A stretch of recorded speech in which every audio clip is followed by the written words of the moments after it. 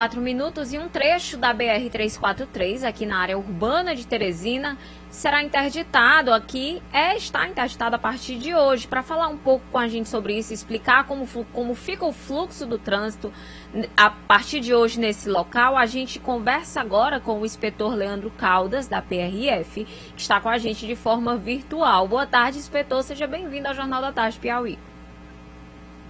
Boa tarde. Inspetor, é, qual é o trecho exatamente da BR-343 que está interditado, por qual motivo e como fica o trânsito ali naquela região agora? É, a gente tá, vai começar, a interdição começou hoje, né? Tem um prazo estimado de sete meses pela construtora. Né? É uma, é, quem está responsável por essa construção é o DER, né? Que é o Departamento de Estradas e Rodagens.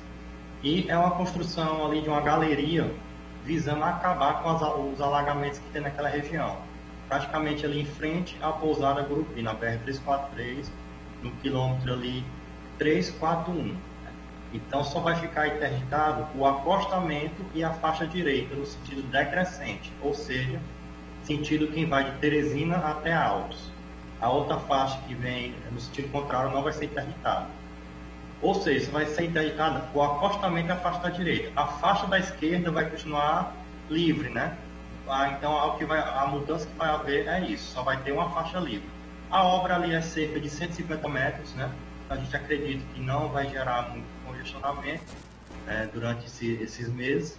E, é, pelo visto ali, de acordo com o que a empresa nos repassou, vai ser aí sete meses aí com essa, somente com a faixa da esquerda liberada, que é aquela faixa que fica mais próxima à fronteira central.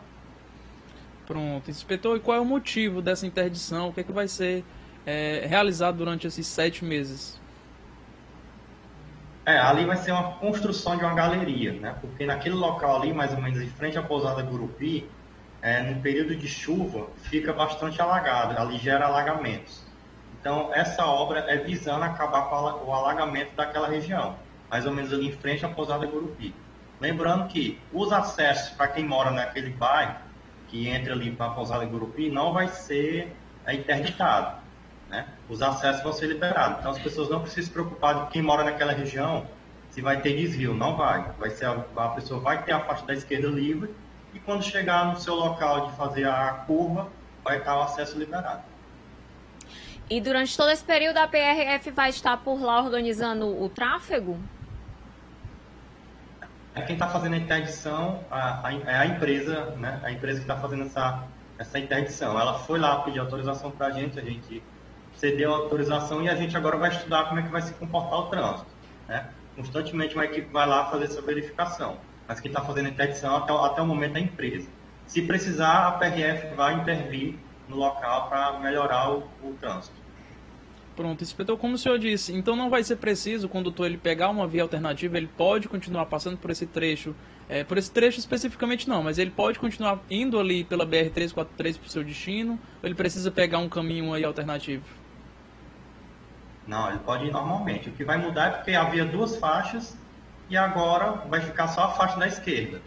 Ou seja, você vai ter agora uma faixa, mas ele vai continuar o caminho dele normalmente. Pode ser que o trânsito fique um pouco mais lento em alguns horários, mas vai continuar fluindo. A gente acredita que sim. Vai é, naquele local geralmente é, tem um pouco de trânsito nos horários de pico, né? Deve aumentar um pouco sim, mas a PRF ela vai estudar o comportamento de como vai fluir o trânsito a partir de agora. Começou hoje essa interdição e ela tem um prazo aí de sete meses aí, a estimativa de, de entrega da empresa. Certinho, inspetor. Você tem mais algum questionamento, Alessio? Não, não. Agradecer ao inspetor pelas informações. Acredito que é de grande valia a gente estar tá divulgando essas informações para que as pessoas, inclusive, evitem, se possível, né, esses horários de pico, justamente é, para diminuir esse congestionamento, esse trânsito que vai se formar é, com esse trecho aí reduzido, inspetor. Mas agradecer demais aí pela sua participação aqui no Jornal da Tarde Piauí. Obrigada, inspetor. A gente agradece o espaço.